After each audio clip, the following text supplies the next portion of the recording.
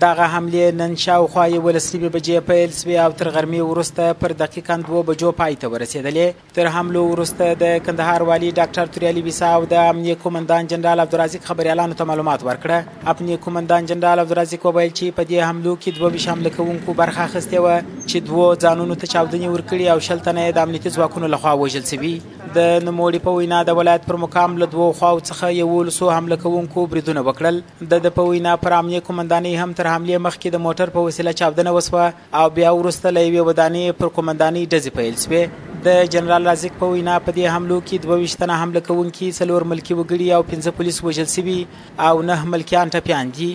دی هغه خپلو پنجاپیانو بادارانو ته چې دی رسولي وه کوم هدف نه درلود هغه ته هم ونه رسېده او داسې الله پاک وشرمل چې راله د خلقې شریف د دیواله سه او دی د خلقې شریف یا پر ملایت پر مقام باندې د دغه ځای څخه استفاده وکړه ټکان یې کول نو تاسو وینئ چې هغه پراته دي او په دې کې غیر ملکي خلک هم شته چې هغه به د دې وطن نه یې شد پاکستانیان اوسي او هغه اسناد موږ راټولوو کریمینل تحقیق پر دې باندې کار کوي په دې کې شاید پنجابیان هم داخل دي او هغه رنګونه او هغه خبرې چې د دې اورېدل شوي دغه د دې ځای